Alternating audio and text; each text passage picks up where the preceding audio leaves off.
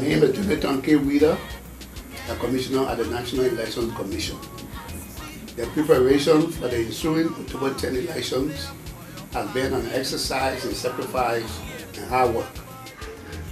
Throughout the process, from voters registration to printing and delivery of ballots to their respective polling stations, NEC staff and contractors have demonstrated integrity and diligence in performing their assigned tasks.